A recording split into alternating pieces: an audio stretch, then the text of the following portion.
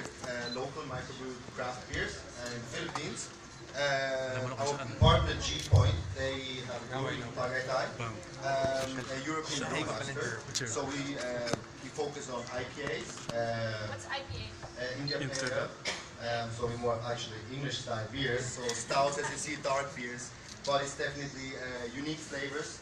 Um, well, yeah, a big difference compared to a regular pilsen or lager was uh, and you're gonna offer the your beers during the Mabuhay Germany? Um, yes, this will be handled uh, through BAN, who will be represented.